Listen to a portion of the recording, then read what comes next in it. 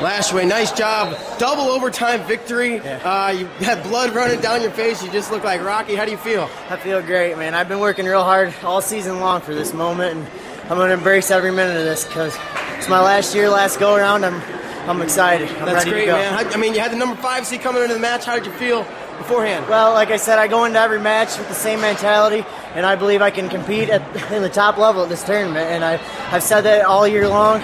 I feel I just proved it right there that I should have been in the top eight all season, and uh, I just got to keep going, keep was- working hard. That was great, man. How, how do you feel right now? How did your body feel? That's a double overtime match. That's I felt great. I could have won a couple more periods, honestly. Uh, we've been training hard all season. Coaches has got us conditioned well, and uh, I feel as though you know my shape's where it should be.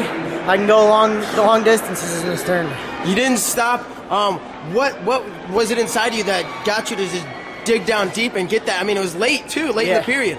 Well, I mean, you just got to go out with every match and push the tempo, and uh, hopefully it ends up in your favor. And like that, I just kept pushing the tempo, pushing the tempo.